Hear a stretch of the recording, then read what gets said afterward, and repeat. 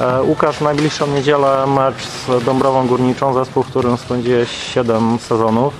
E, Czy to jakieś specjalne, specjalne spotkanie dla Ciebie, takie emocjonalne? Czy może nie emocjonalny, no na pewno specjalny, bo od 7 lat nie miałem okazji przeciwko nim zagrać. Cóż, tak w tym sezonie się zdarzyło. No, jest to dla mnie na pewno ciężki mecz, aczkolwiek no, podchodzę do tego dosyć spokojnie. Czy obawiasz się któregoś z byłych kolegów, z którymi grałeś specjalnie? Nie, z chłopakami trenowałem nawet w tym sezonie, wiem, że są w dobrej formie.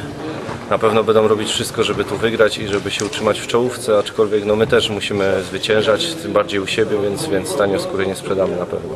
E, Łukasz, dobry Twój mecz e, w łańcucie, indywidualny, no trochę gorzej poszło w drugiej połowie, bo, bo przegraliście. Czy zadowolony jesteś ze swojego występu?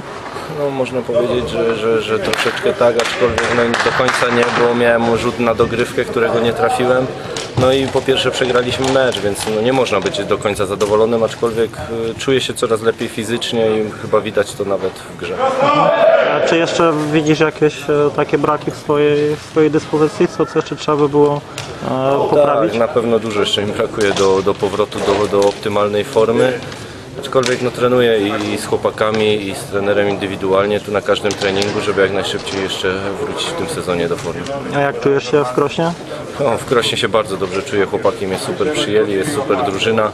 Pomału się zgrywamy, co widać chyba na meczach też, także myślę, że będzie wszystko ok. E, Wejście miałeś dość dobre, bo, bo pierwszy mecz e, w półfinale Pucharu Intermarché, w drugim niestety przez problemy zdrowotne nie wystąpiłeś, ale zdobyłeś e, Puchar na poziomie pierwszej ligi, więc to Tak, chyba tak. też takie fajne, Fajne fajne uczucie, aczkolwiek to muszę podziękować szczególnie chłopakom, bo ja za dużego udziału w tym nie miałem, aczkolwiek no fajnie, że, że byłem już z drużyną. No i przede wszystkim, że dla Krosna zdobyliśmy, zdobyliśmy puchar, prawda?